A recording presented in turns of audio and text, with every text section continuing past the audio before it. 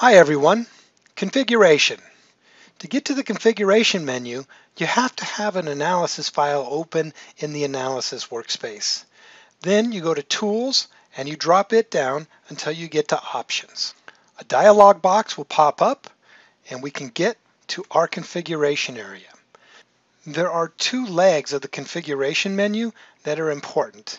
The first is new projects. New projects will allow you to set up your future projects to have years going in a chronological order or in a reverse chronological order. Once you set this parameter, new project files, new analysis files will use that parameter.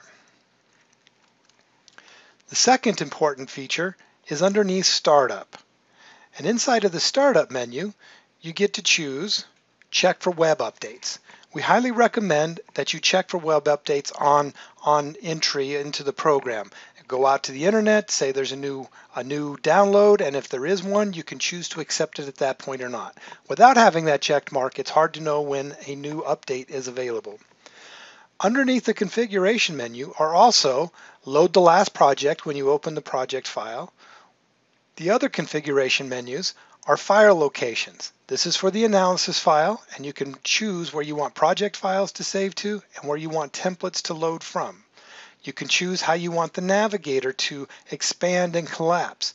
Uh, the configuration, uh, the menu bar for that is down here at the bottom. Underneath report, you get the same options for your file locations. You can choose the path where templates are stored for the report and also where your report documents are stored.